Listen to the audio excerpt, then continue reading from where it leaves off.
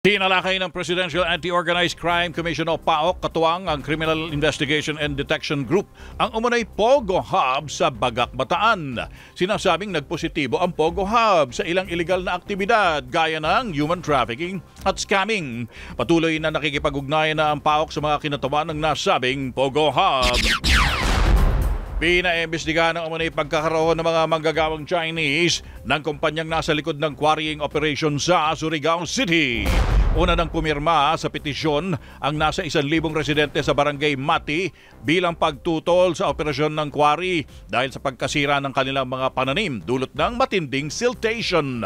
Nanawagan din ang mga residente sa lokal na pamahalaan dahil sa peligro ng quarrying operation.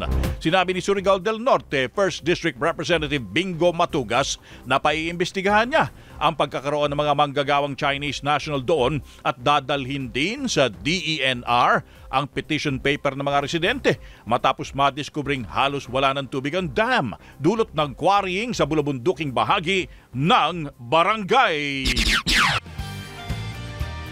Para updated sa balita at talakayan, subscribe na sa Teleradyo Servisyo YouTube channel.